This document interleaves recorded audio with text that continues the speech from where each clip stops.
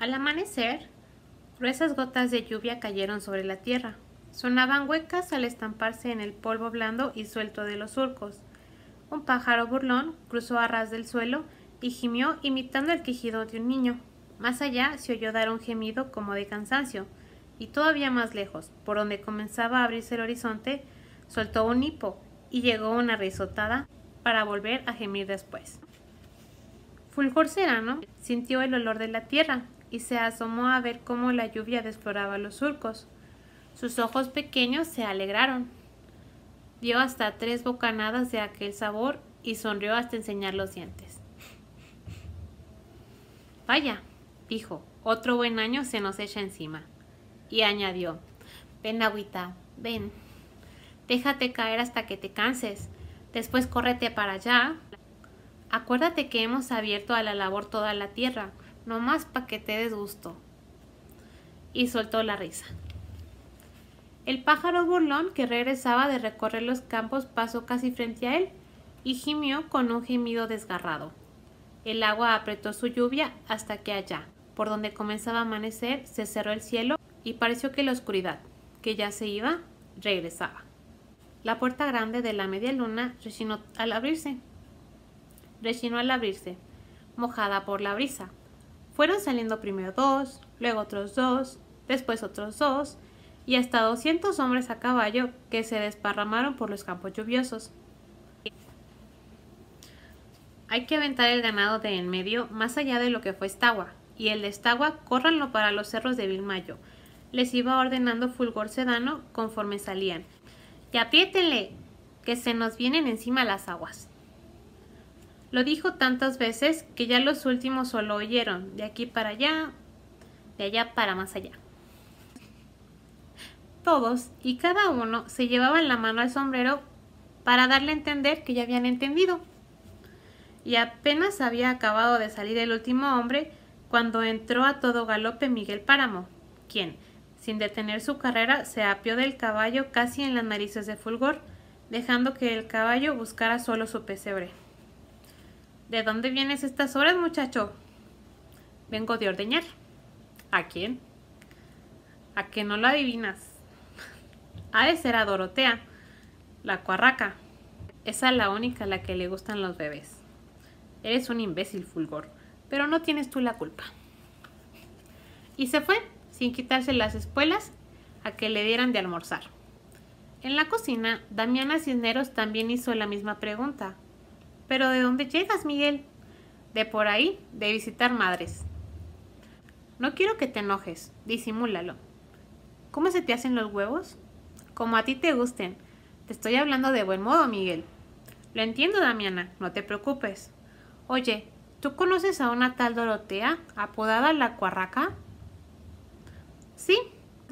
Y si tú la quieres ver, está allá afuera. Siempre madruga para venir aquí por su desayuno. Es una que trae un molote en su rebozo y lo arrulla diciendo que es su crío. Parece ser que le sucedió alguna desgracia allá en sus tiempos, pero como nunca habla, nadie sabe lo que le pasó. Vive de la limosna. Maldito viejo. Le voy a jugar una mala pasada que hasta le harán remolino los ojos. Después se quedó pensando si aquella mujer no lo serviría para algo y sin dudarlo más fue hacia la puerta trasera de la cocina y llamó a Dorotea. Ven para acá. Te voy a proponer un trato, le dijo. Y quién sabe qué clase de proposiciones le haría. Lo cierto es que cuando entró de nuevo se frotaba las manos. Vengan esos huevos, le gritó a Damiana, y agregó. De hoy en adelante le darás de comer a esa mujer lo mismo que a mí. No le hace que se te ampolle el codo. Mientras tanto, Fulgor Sedano se fue a las trojes a revisar la altura del maíz. Le preocupaba la merma porque aún tardaría la cosecha. A decir verdad, apenas si se había sembrado. Quiero ver si nos alcanza. Y luego añadió, ese muchacho, igualito que su padre, pero comenzó demasiado pronto. A este paso no creo que se logre. Se me olvidó mencionarle que ayer vinieron con la acusación de que había matado a uno. Si sigue así, Suspiró y trató de imaginar en qué lugar irían ya los vaqueros, pero lo distrajo el potrillo alazán de Miguel Páramo. que se rascaba los morros contra la barda. Ni siquiera lo ha desencillado, pensó, ni lo hará. Al menos don Pedro es más consecuente con uno, y tiene sus ratos de calma, aunque consiente mucho a Miguel. Ayer le comuniqué lo que había hecho su hijo y me respondió. Hasta la idea de que yo fui Fulgor. Él es incapaz de hacer eso. No tiene todavía la fuerza para matar a nadie. Para eso se necesita tener los riñones de este tamaño. y puso sus manos así, como si midiera una calabaza. La culpa de todo lo que él haga, échamela a mí. Miguel le dará muchos dolores de cabeza a don Pedro. Le gusta la pendencia. Déjalo moverse. Es apenas un niño. ¿Cuántos años cumplió? ¿Tendrá 17? ¿No fulgor? Puede que sí. Recuerdo que se lo trajeron recién apenas ayer, pero es tan violento, vive tan deprisa, que a veces se me figura que va jugando carreras con el tiempo. Acabará por perder. Ya lo verá usted. Es todavía una criatura, Fulgor. Será lo que usted diga, don Pedro, pero esa mujer que vino ayer a llorar aquí, alegando que el hijo de usted le había matado a su marido, estaba de a tiro desconsolada. Yo sé medir el desconsuelo, don Pedro, y esa mujer lo cargaba por kilos. Le ofrecí 50 hectolitros de maíz para que se olvidara del asunto, pero no los quiso. Entonces le prometí que corregiríamos el daño de algún modo. No se conformó. ¿De quién se trataba? Es gente que no conozco. No tienes por qué apurarte, Fulgor. Esa gente no existe.